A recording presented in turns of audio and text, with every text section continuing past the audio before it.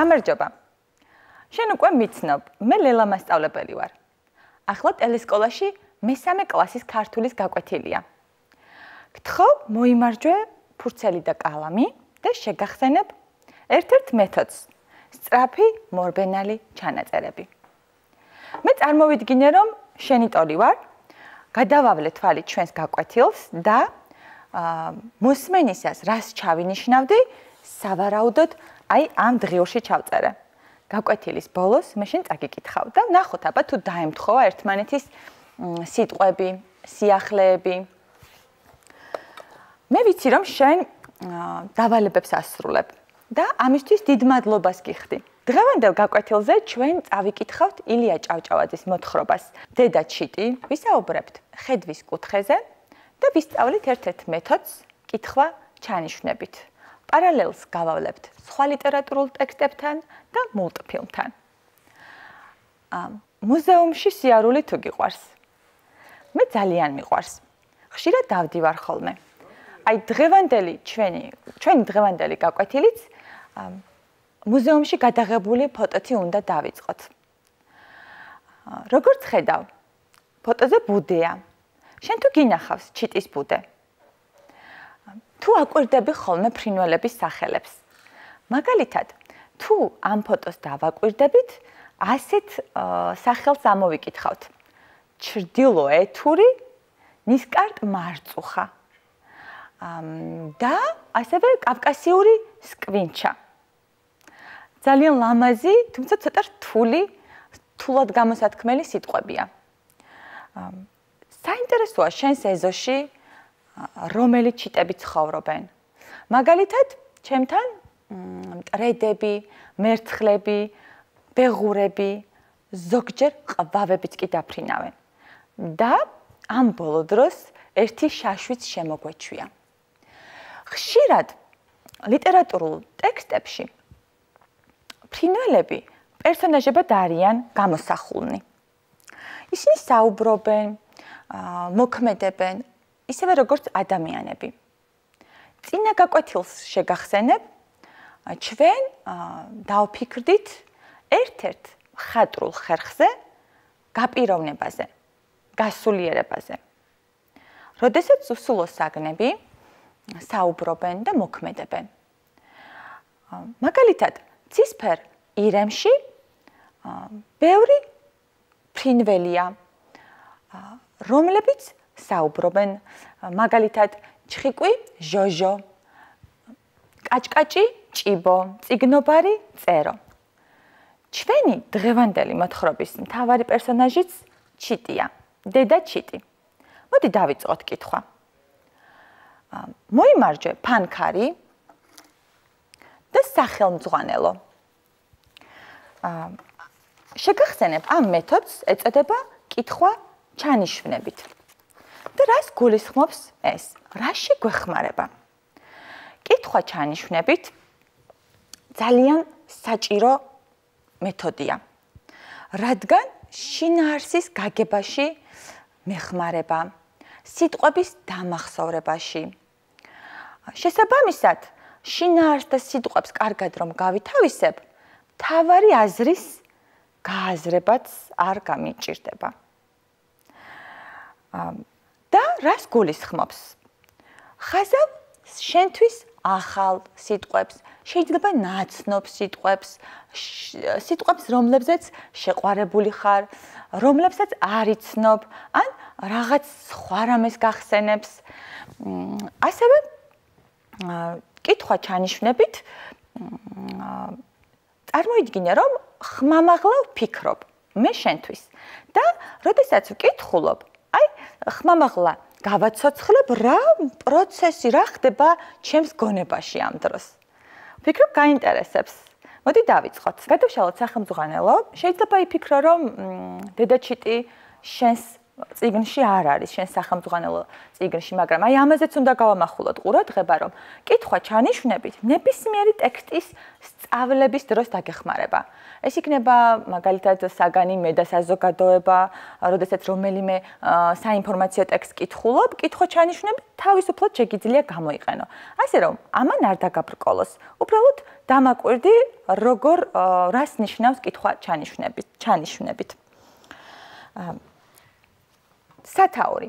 დედა ჩიტი. სათაური შევადაროთ კარს. აი, როდესაც სადღაცას მიდიხარ, ხდება კარი. და არიცი იმის იქით რა დაგხვდება, ანიცი რა დაგხვდება და შეიძლება იქ მაინც მოულოდნელი სიტუაცია დაგხვდეს. ტექსტიც, ლიტერატურული ნაწარმოებიც სწორედ ამ კარის მიღმა არსებულ სამყაროს ჰგავს. და სათაური მისი კარია. შეაღებ და შედიხარ რაღაც თავგადასავალში. დედა ჩიტი. აა რას მახსენებს ეს სათაური? მაგალითად, მე გამახსენა ქართული ხალხური ზღაპარი გვრიტი. გახსოვს ალბათ, დედა დედა გვრიტს რომ ბარტყებს მოპარავს ერთი კაცი და მეგობრები რომ დაეხმარებიან ბარტყების დასაბრუნებლად. კიდევ გამახსენდა ერთი საბავშვო რომანი ბიჭი ჩიტი და ოსტატი ალბერტო. როგორც ამ მოთხრობაში ამ საბავშვო წიგნშიც ბიჭისა და ჩიტის საოცარი მეგობრობა არის ასახული. ასევე გამახსენდა ერთი მულტფილმი, რომელიც ჩემმა 7 წლის ბიჭმა აღმომაჩენა ახლა ხანს და ამ მულტფილმს ჰქვია პლოი, შენ არასდროს იფრენ მარტო. და არის ჩიტებზე, რომლებიც თბილი ქვეყნებისკენ მიფრინავენ და ისევე როგორც ამ მოთხრობაში, მულტფილმშიც ოჯახის, დედისა და შვილის სიყვარულია წარმოდგენილი. მე შენ გირჩევ რომ მოძებნო ეს ტექსტები, ეს მულტფილმი და შემდგომ დაუკავშირო ამ მოთხრობას. მამა, მამა, მოისმა პატარა ბაღიდან ბავშვის ხმა. მოთხრობა დიალოგით იწყება. დიალოგი ორ ან ორზე მეტ პერსონაჟს შორის საუბარს ნიშნავს. დიალოგის დროს ვიყენებთ სასვე ნიშანს ტირეს და საუბარი ტირეებით არის გამოყოფილი ძირითადი ტექსტისგან. მამა და მისი სტუმარი ბახთან მივიდნენ. ხედავთ პერსონაჟები შემოხვდნენ, ჩვენ შემიძლია გავხაზო мама პატარა ბავშვი, ბავშვის ხმა და პატარა კაც უნდა დავხატო პერსონაჟებთან. პატარა ილიკო ბარდს მისდგომოდა. ბარდი. გვერდით დატანილი არის განმარტება. ეკლიანი სცენარე. ალბათ გაგიგია, ეკალ ბარდებში ჩავარდნა. ეკალ ბარდები, აი ხშირად ესე ასე ერთად იყენებენ ამ სიტყვას. და რაღაცას ცდილობდა. ეთყობოდა რომ ბევრი უწვალია. სახეზე ოფლი ჩამოსდიოდა. პერანგიც შემოხეოდა. პერანგი. გავხაზავ ამ სიტყვას. ისე ენაში ხშირად უცხო სიტყვები შემოდიან და ენას აბინძურებენ. მაგალითად მეც ბავშვობაში ხშირად ვამბობდი საროჩკას ეს რუსული სიტყვა და სულიად არ გჭირდება, იმიტომ რომ მისი ქართული შესატყვისი არსებობს პერანგი. აი ეს გამახსენა ამ სიტყვამ. ერთი ვნახოთ, რა გასჭირვებია მიმართა მამამ სტუმრად მოსულ სოლომონს. ახალი პერსონა, როგორც მივხვდით, სოლომონის სტუმარს ქვია, ახალი პერსონაჟი არ არის, ის მოთხრობის დასაწყისშიც ხდება. აგერ ბარტყი ილიკომ პაციათითი მისკენ მიმართა. ბარტყი პატარა ფრთებით ეკლიან ბარდში გახლართულიყო და შეშინებული იყურებოდა აქეთ-იქით. სოლომონმა მაღლა აიხედა და ჩიტის ბუდე შენიშნა. შემდეგ გადასწდა ბარდს. ბარდს დაიჭირა ბარტყი და ილიკოს მისცა. ბავშმა სიხარულისაგან აღარ იცოდა რა ეკნა. იალერსებოდა პაცია ფრინველს, ფრთხილად ეფერებოდა. ნახეთ ეალერსებოდა ძალიან მიყვარს ეს სიტყვა. და პაციაც მოფერებით ვეუბნებით ხოლმე ბავშვებს.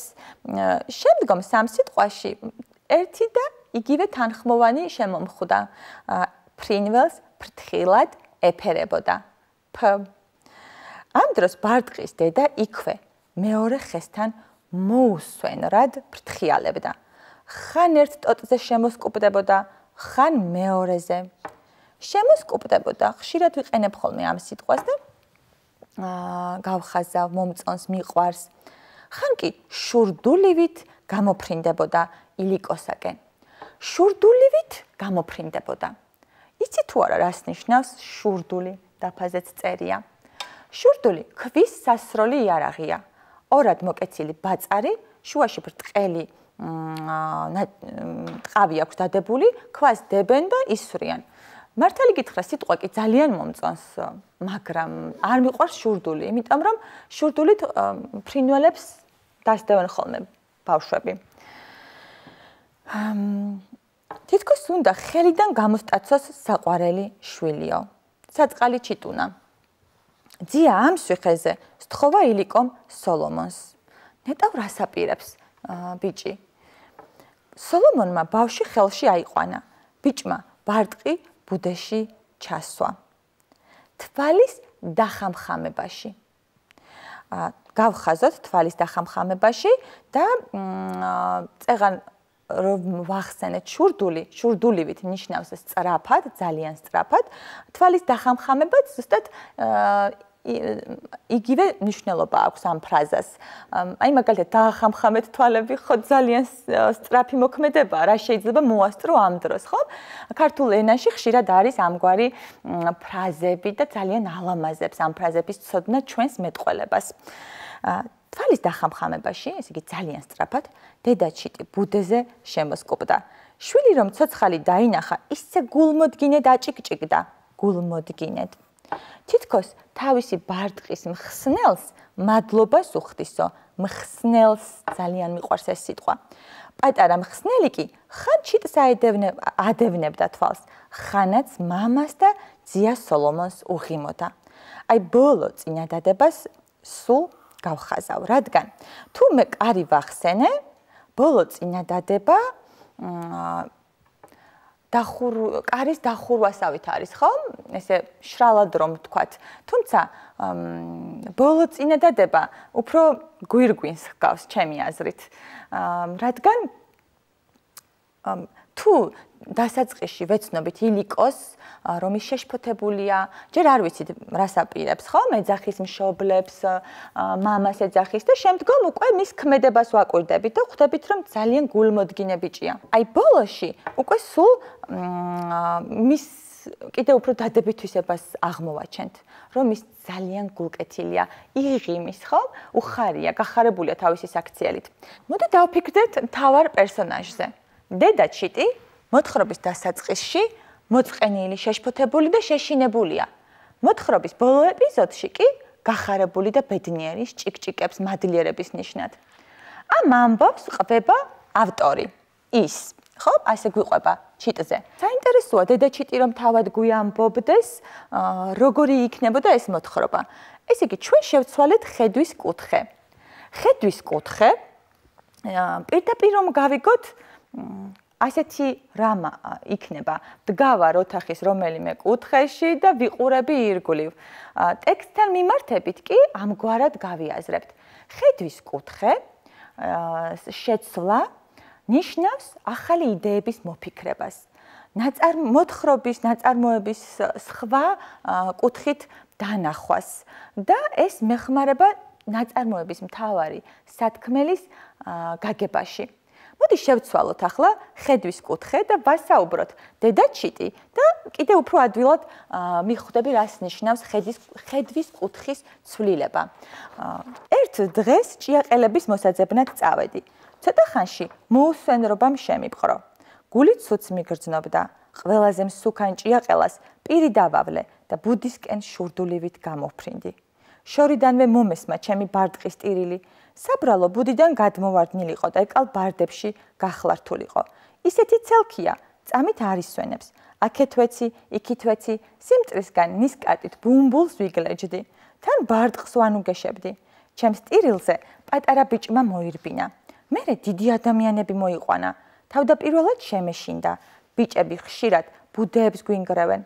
მე ხელი დავავლე, დაავლო ჩემს ბარტყს. დიდმა კაცმა ბიჭი ხელში აიყვანა და ბარტყი ბუდეში ჩასვეს. ეს რომ დავინახე, თვალებს არ ვუჯერებდი, მაშინვე ავფრინდი და გულში ჩავიკარი ჩემი პატარა შვილი. მხოლოდ ის გავიგონე რომ ბიჭს ილიკო ერქვა. რა ლამაზი სახელია. მეც ხშირად ჭიკჭიკში ამ სახელს გალობ ხოლმე. ილი, ილი, ილიკო, ჩვენო მხსნელო, გაიზარდე დიდი ბიჭი, ხიფათისგან დაგიცვას ჩემმა ლოცვამ. მადლობა ჩვენო გადამრჩენელო. როგორც ხედავ, ჩიტის განცდები წარმოვაჩინე და რაში დამახმარა ეს? კიდე უფრო მეტად დავაკვირდი თავარ პერსონაჟს, რას გრძნობს ის, რას გრძნობდა, რა შემთხვა და ამ ყველაფერმა გამახსენა დედების საწუხარი, ყველა დედა, რომელსაც შვილი საფრთხეში ყავს, შემებრალნენ, გამახსენდა დედის შიშები, თავგაწირვა, აუწონავი სიყვარული და ნახე როგორი ემოციები გამოიწვია ჩემში. საინტერესოა როგორ რას გვიამბობდა თავად ილიკო? თვითონ რომ გუყვებოდეს ამ მოთხრობას. ან პატარა ბარტყი როგორ მოყვებოდა? ფიქრობ მოგეწონა ხედვის კუთხე სტრაფი მორბენალი ჩანაწერებიც გადაივსო და მაგალითად ჩემს სტრაფ მორბენალ ჩანაწერებში ამგვარი ფრაზები აღმოჩნდა და ეს შეჯამების ახით შეჯამ შეს გაკვეთილის შესაჯამებლადაც გამოგვადგება. სწრაფი მორბენალი ჩანაწერები ტელესკოლა დედა ჩიტი კითხვა ჩანიშნებით ხედვის კუთხე მუზეუმი ჩრდილოეთური ნისკარტ მარწუხა კავკასიურის კვინჩა შურდული ბიჭი ჩიტი და ოსტატი ალფრედო შენ არასდროს იფრენ მარტო ილიკო სოლომონი мама ბარტყი აი ამგვარი იყო ჩემი დღევანდელი აა სწრაფი მორბენალი ჩანაწერები. ახლა დავალების დრო დადგა. ყურადღებით მომისმინე გთხოვ. დავალება ამგვარია. დედა ჩიტის ჭიკჭიკი აქცია სიტყვებად. მოიფიქრე სიტყვები, რომლებსაც დედა ჩიტი მადლიერების გამოსახატავად გამოიყენებდა. დედა ჩიტი ალაპარაკეთ პირველ პირში და დაწერეთ. დახატეთ შესაბამისი ილუსტრაცია. მე მომავალ გაკვეთილამდე გემშვიდობებით. Thank you.